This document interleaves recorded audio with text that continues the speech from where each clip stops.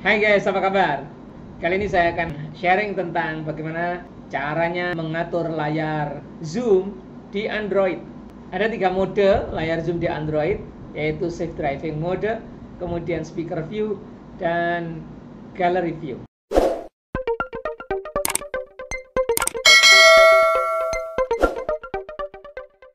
Pertama, kita buka Zoom, kemudian join, ya join. Join meeting. Saya sekarang join meeting. Dan saya akan join dengan nama Ronald. Join.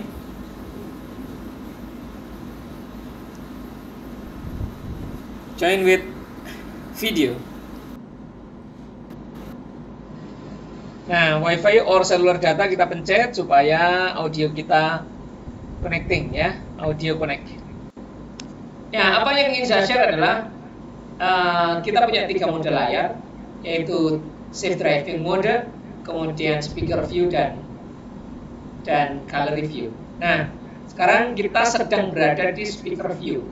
Speaker view adalah siapa yang sedang berbicara ditampilkan dalam layar besar seperti ini. Ini ya, coba. Ini yang berbicara adalah Jumal Multazam host bukan bukan Gary, bukan Ronald. Ya, semalam Mutazam host adalah yang besar ini. Nih, ini nih. Nah, ini dia. Nah, ini adalah Jumal Mutazam host yang berbicara. Sedangkan ini, yang ini, ya, yang ini, ini yang menutup kamera ini, belum menutup kamera ini. Ini adalah uh, Ronald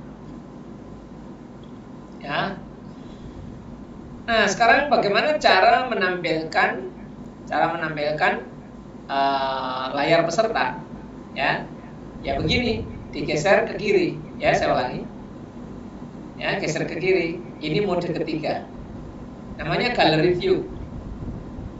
Ya, menampilkan uh, seluruh peserta. Lupa itu kan cuma sedikit ya karena memang cuma tiga. Pak, bagaimana kalau pesertanya 10 atau 20?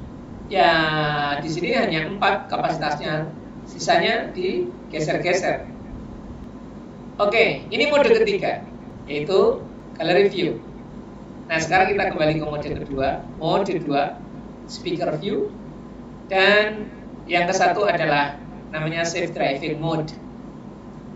Nah, apa manfaatnya safe driving mode? Kalau saudara sedang driving, yang biasanya apa namanya HP diletakkan di kaca gitu di hold di kaca atau uh, phone holdernya itu nempel di kaca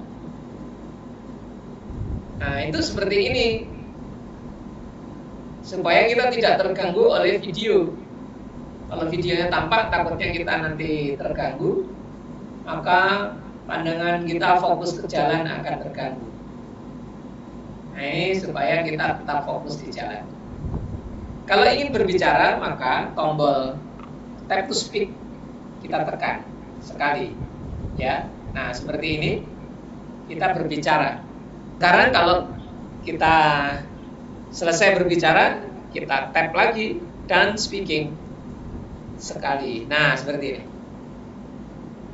Gitu ya sobat ya. Ada tiga mode. Ini adalah safe driving mode Kemudian yang kedua kita geser ke kiri begini. Kita dapatkan yang kedua yaitu uh, speaker mode dan speaker view mode. Kemudian kita geser ke kiri lagi, geser ke kiri lagi, kita mendapatkan yang paling ujung. Yang ketiga adalah uh, gallery view yang menampilkan seluruh peserta. Nah, demikian sahabat yang bisa saya share untuk kali ini. Uh, semoga bermanfaat. Sampai jumpa lagi.